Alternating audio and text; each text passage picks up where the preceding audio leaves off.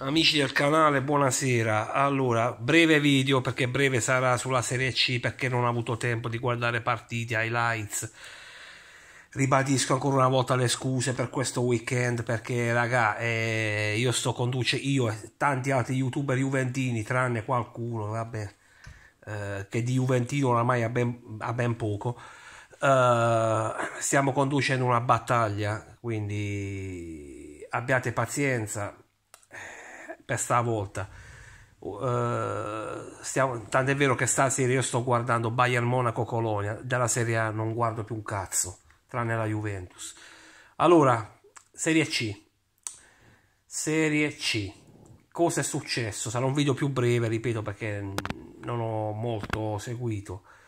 Ho visto i risultati ho visto onestamente sembra essere cambiato poco. Nel girone A continua praticamente una, una lotta appassionante fra 3-4 squadre Pordenone, Feralpi.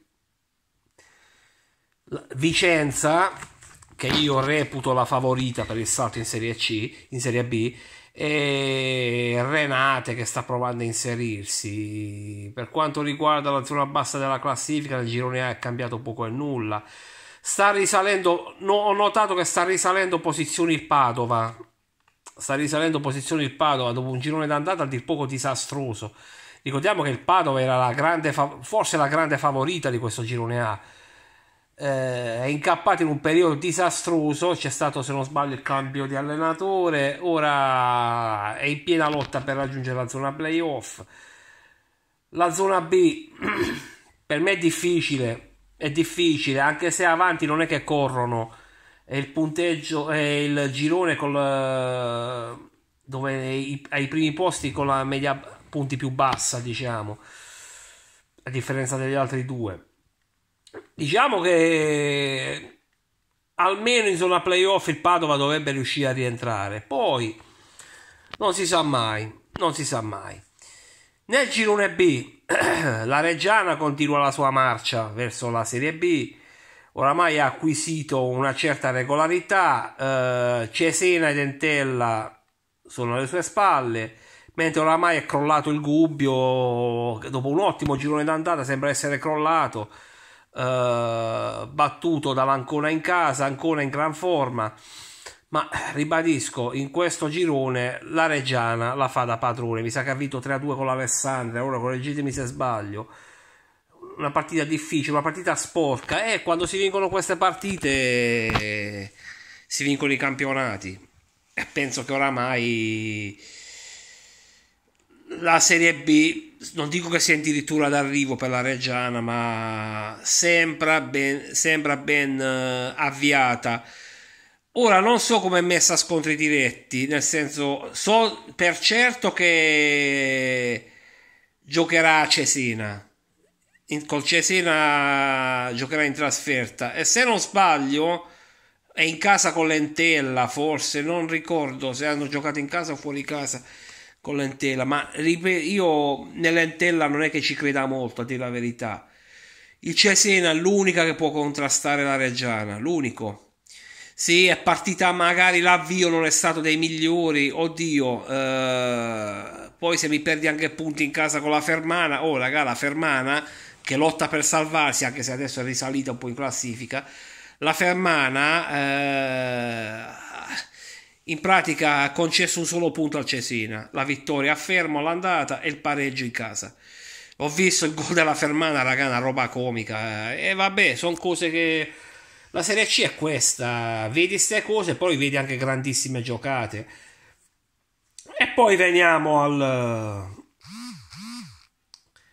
al girone C, dove oramai, cioè, se per la, la Reggiana è ben, è ben avviata, il Catanzaro oramai non è questione di sé, ma questione di quanto la promozione sarà matematica. Il Crotone pareggia in casa della Monterosi.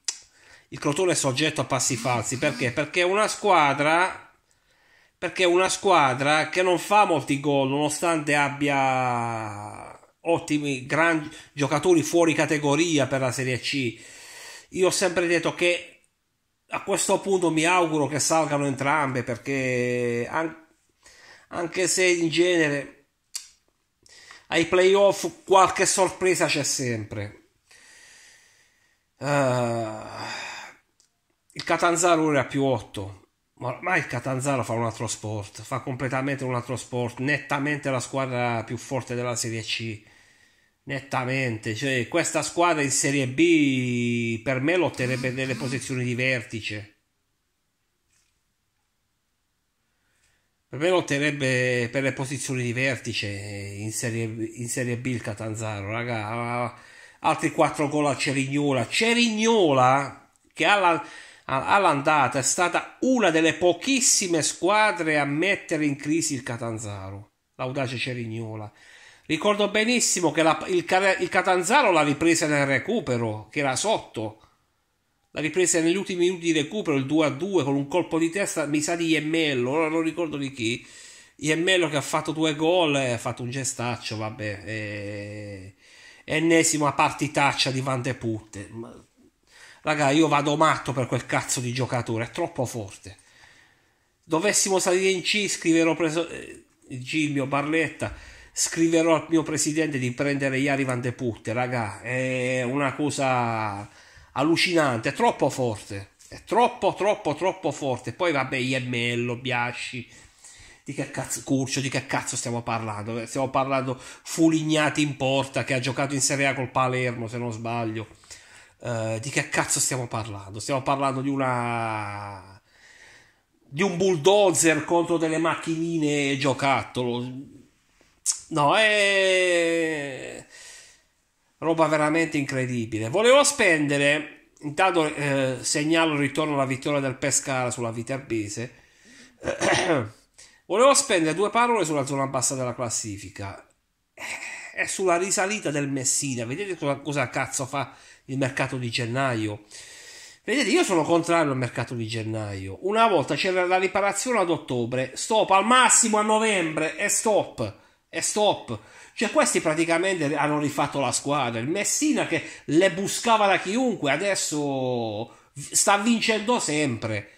Cioè, io a questo punto il Messina, per il Messina che sembrava spacciato, completamente spacciato, cioè la salvezza diretta non è mica tanto un, una chimera, eh.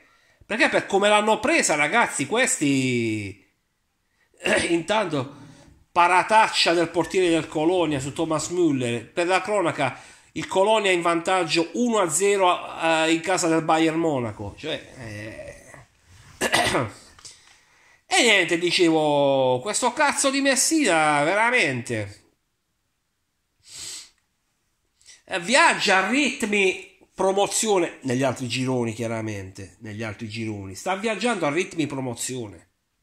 A ritmi promozione diretta eh, naturalmente parlare di ritmi di promozione nel girone C veramente cioè, ma di che cazzo stiamo parlando? Cioè, di, una squadra il Catanzaro che ha 60 punti a 60 punti cioè in uh, poco più di 20, 23 partite 60 punti cioè stiamo parlando di una squadra che secondo me è, se a promozione acquisita, perché oramai ripeto, non si tratta di se ma di quando.